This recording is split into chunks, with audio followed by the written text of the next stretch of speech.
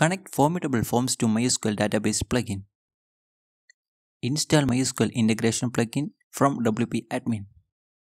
Plugins add new upload or zip file.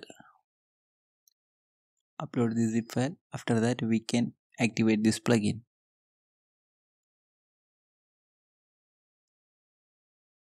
Okay. Now we can see Formidable Forms MySQL plugin installed. Now we need to go to our PHP MyAdmin, add new database. Here MyDB. Then go to our Formidable DB switch database. Here we need to add uh, credentials. Localhost, database name is MyDB, username is root, and here my password. Pass admin to this submit. Now we can see new tables are created. Okay. Here column name is based on input field name.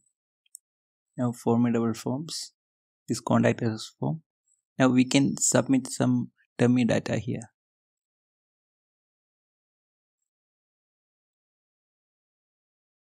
Submit.